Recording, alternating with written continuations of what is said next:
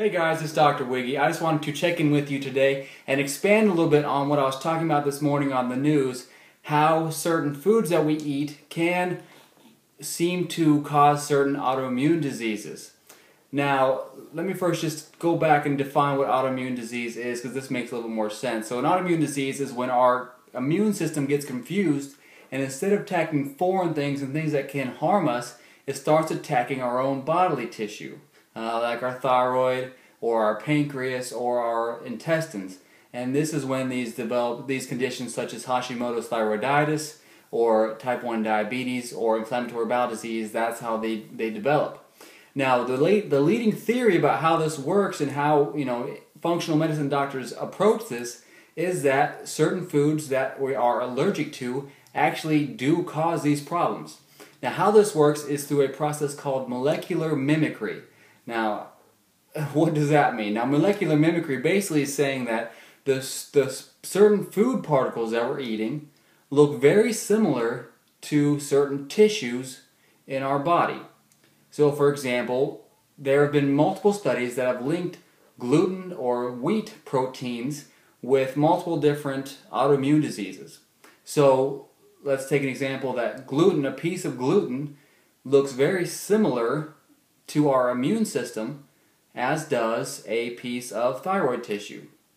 And that is how it is thought to trigger these autoimmune diseases.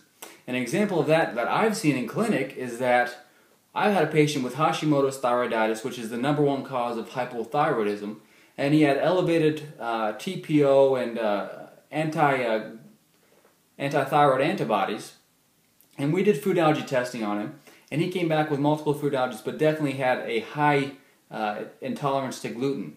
And what we did is that we eliminated gluten from his diet, and basically his um, Hashimoto's resolved and his th- hypothyroidism resolved. And now this this doesn't happen in all cases of autoimmune diseases, but it does seem to happen in some, and you can't ignore those types of results. So just kind of summarize, yes, it does seem that certain food allergies can cause certain autoimmune diseases. And if you are suffering from any sort of autoimmune disease, such as you know Hashimoto's thyroiditis and cause hypothyroidism, uh, multiple sclerosis, inflammatory bowel disease, psoriasis, any of those things, I would strongly recommend going to get a food allergy test done. Now, not all food allergy tests are, are created equal, and I would recommend one that does check for IgG antibodies. That is probably the most important one to test for. So, like I said, if you have these, I would strongly recommend going and get that test done. Um, and if you know someone that has those, has those conditions, please uh, forward this forward them this video because I think that can help them. So if you have any comments, please send them below. Um, otherwise, uh, please subscribe to my YouTube channel, and uh, we'll come out with some other great some other great good videos. So uh, hope you're all doing well, and uh, I'll talk to you later.